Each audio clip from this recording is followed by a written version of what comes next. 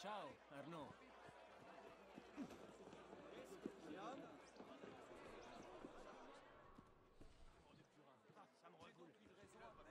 qui a bouleversé notre temps. On est bien conscience, l'homme qui a inspiré la création de la...